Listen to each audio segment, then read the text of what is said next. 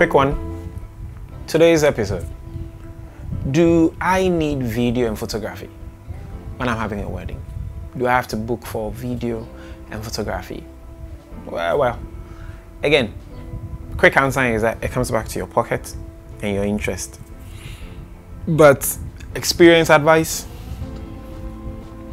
if you cannot afford the two, if the package that the person is giving you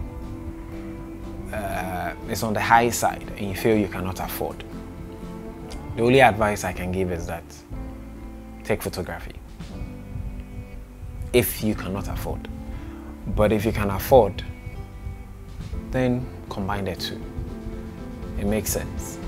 Because um, mostly, mostly, people watch the photos than video.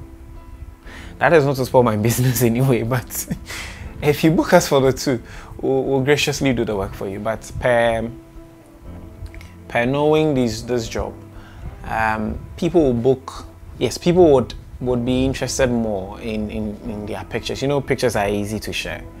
And sometimes when you are there and you are bored, you can just pick your photo book and be flipping. You know, you can flip through and be checking your your wedding pictures that you took. So yeah, um, if you cannot afford the two, pictures only will be the appropriate way to go. Do I need a wedding video? Yeah, you know, wedding anniversary, five years, 10 years.